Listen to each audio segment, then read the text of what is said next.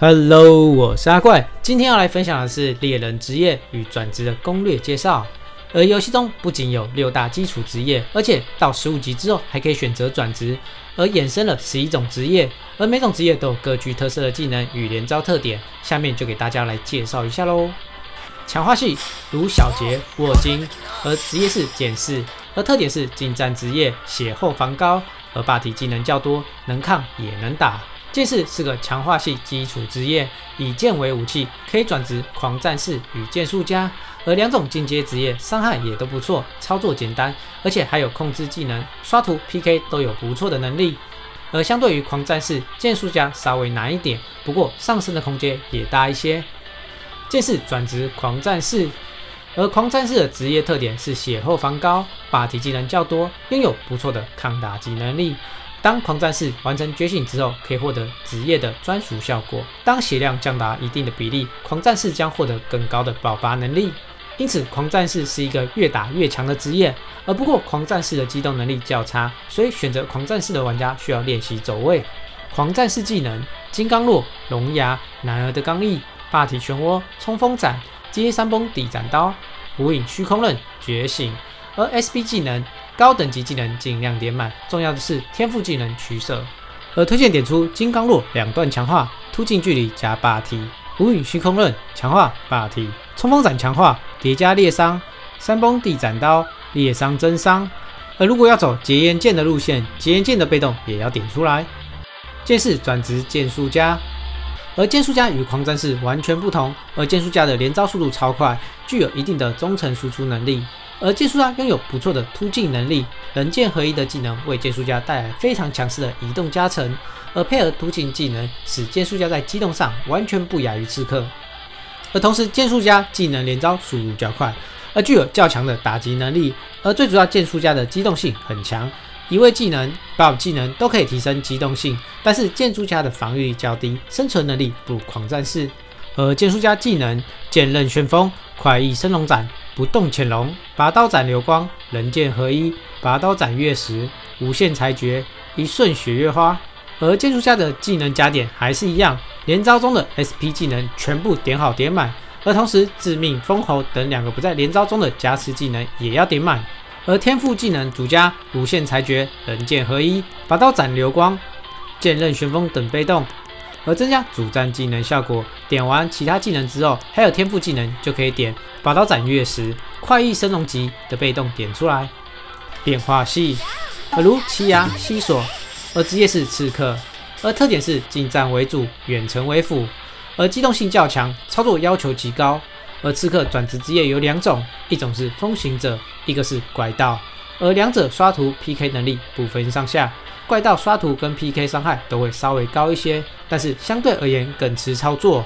而不管刺客转职任何职业，都是一个高爆发低生存的职业，一旦被抓到连招技能，几乎一下下就 GG 啦。刺客转职为风行者，风行者是一个机动性较强、爆发高、可以自由穿梭在战场的高输出职业，可以利用一些中远程技能起手，然后配合一些突进技能近身作战。而特别是风之舞。而释放之后，几乎可以贯穿整个屏幕，因此风行者特别适合刷那些喜欢到处乱窜的小怪。而风行者技能：飓风突刺、真空刃、疾风乱舞、幻蝶、狂风突袭、幽灵飓风、风之舞、觉醒。而 SP 技能点满：风之舞、狂风突袭、幽灵飓风、真空刃。而其他技能由高等开始依序往下点。而天赋技能需点出真空刃硬直，否则没有连招效果。而幻蝶暴击混乱，而狂风强化对中毒有着增伤，而幽灵飓风强化附加中毒。风行者是一个机动性高、爆发强、可以自由穿梭在战场的高输出职业。也正因如此，风行者的技能几乎没有霸体效果，实战中应该多走位，配合机动性技能寻找战机。而一旦命中对手，就可以利用多种浮空、追地等效果将对手秒掉。刺客转职怪盗，怪盗是一个比较鬼渣的职业，有着比较高的敏捷能力，不过血量比较脆弱，可以释放一些看起来毫无逻辑的技能与陷阱，并将其连贯起来。而虽然怪盗没有风行者的机动性，可是怪盗的打击非常突兀，让人家无法防御，因为你永远不知道怪盗的下一个技能会是什么。怪盗技能：玫瑰之轮、诱捕之风、风洞陷阱。幻象攻击、蔷薇之臂、引力切割、风暴之眼、觉醒技能。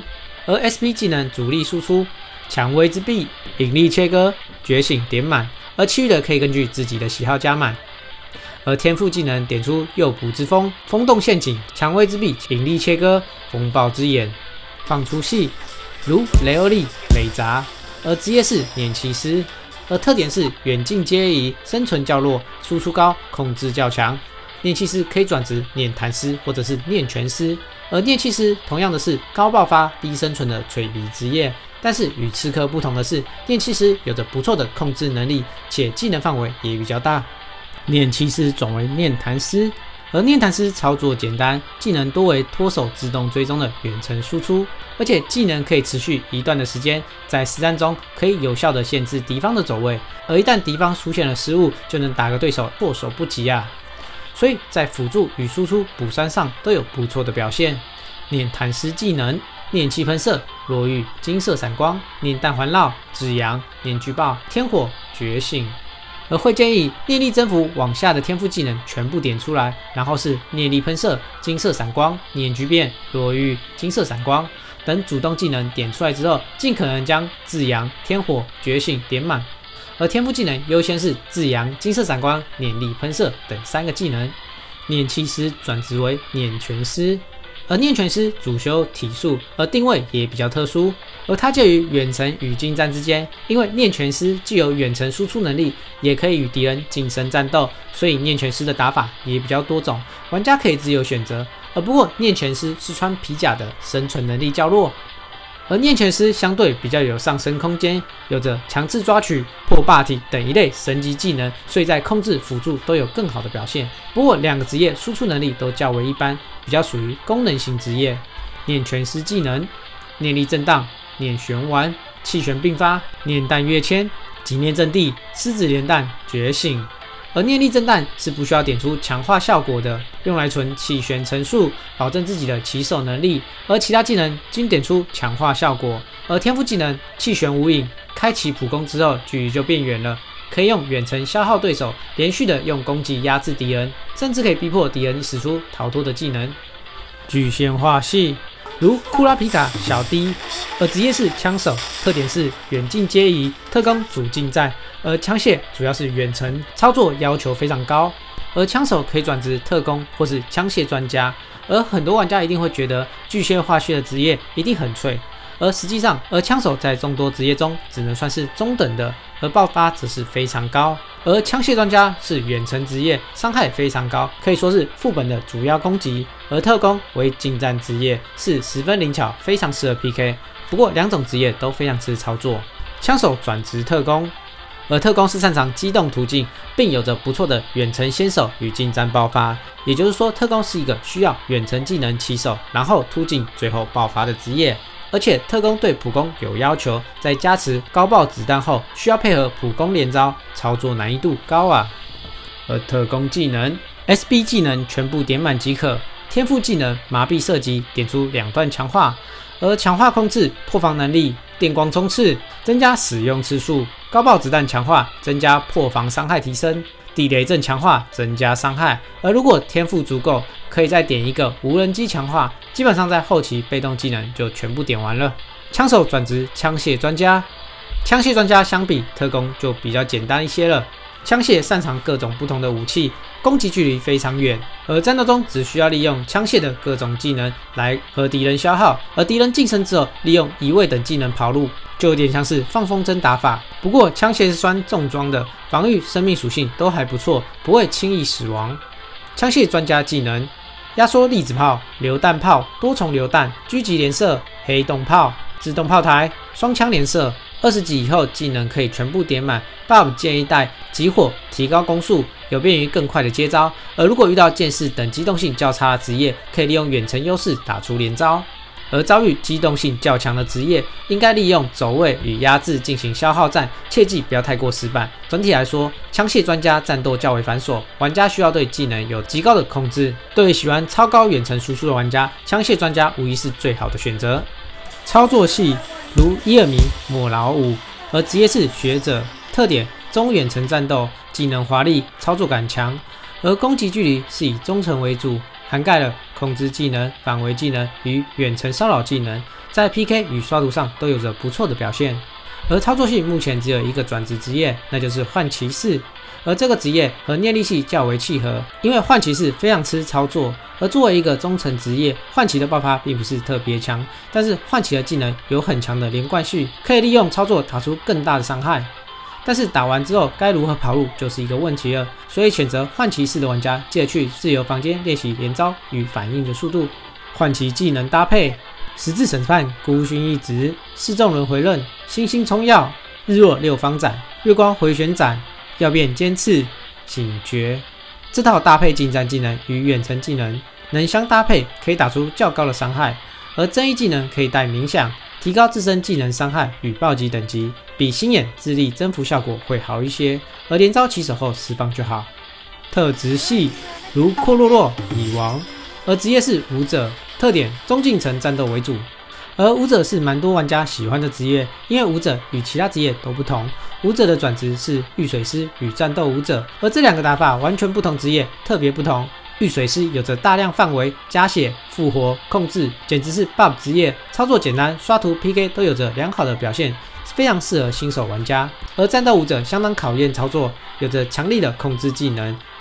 技能基本蓄力累积，可以打出很好的连击，操作手感、PK 能力都十分优秀。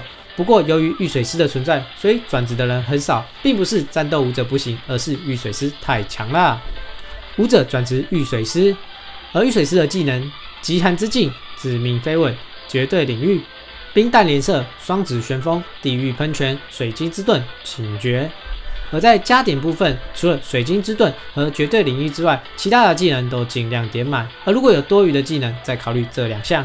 这两个团队技能在加点后收益都太少了。而御水师控制能力强，生存能力也强，大量范围技可以持续输出，技能连续命中敌人，还可以将其冻住，完全无法反击。而御水师同时不害怕近战，因为他有无敌反击技能，醒觉之后拥有一次复活，是不是很可怕啊？所以在所有职业当中，目前是最受欢迎的职业。武者转职为战斗武者，而战斗武者与御水师又完全不同，战斗武者更像是一个消耗型职业，而技能有些近战，也有些中远程技能。而虽然战斗舞者抓地不行，但是普攻可以使对手滞空，因此看起来操作难度较高的技能，对方在滞空的状况下也可以轻松连招。战斗舞者技能：蒸汽弹、如意、偃月、比翼、云雀，而其他技能点一级。天赋技能：强化海月、太极、逆鳞、偃月、如意、蒸汽弹。而如果要走远程路线，则将海月、逆鳞换成穿云或崩山，同时穿云跟崩山的天赋技能也要点出来。而以上就是这次的猎人职业与转职攻略介绍。而有什么问题都可以在下方留言给我。喜欢的观众拜托点个赞，订阅一下，也麻烦要开启小铃铛啊！我是爱玩搞怪的大怪，我们下一集再见啦，拜拜。